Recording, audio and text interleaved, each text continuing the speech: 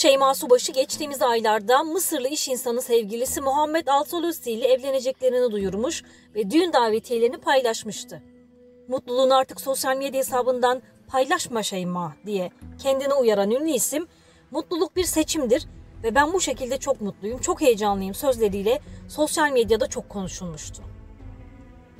Instagram'ın yeni özelliği dünyaca ünlü isimler ve influencerların paylaşımda bulunduğu ücretli abonelik sistemine ilk geçen isim olan Şeyma Subaşı yeniden gündeme gelmişti. Düğününe 15 kişiyi çağırdığı konuşulan Subaşı, Instagram'ın ücretli abonelik bölümünden yeni bir paylaşımda bulundu. Subaşı 10 kişilik davetli listesi hakkında düğünüme ruhu özel insanlar katılacak, ablam dahi hayatımda, hayatımda olmayacak şeklinde konuşmuştu.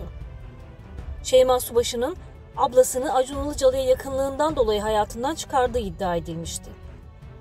Bu arada abla Kübra Açıl'ın eski futbolcu eşi Mertan Açıl, Acun Ilıcalı'nın sahibi olduğu Hull City takımında çalışıyor.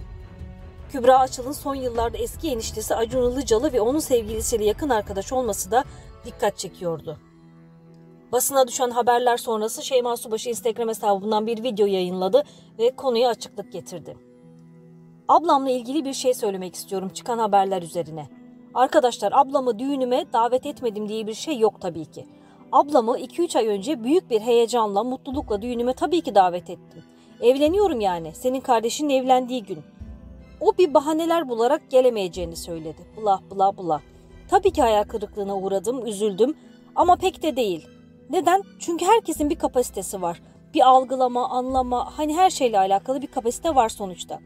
Eğer şimdi sen karşındakinin kapasitesinin üstünde bir şey beklersen sen hayal kırıklığına uğrarsın.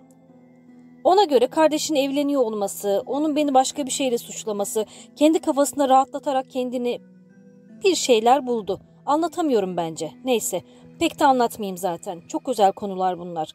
Ama olay, ablam tabii ki davetliydi. Kendisi gelmemeyi tercih etti düğünüme. Olay bu, dedi.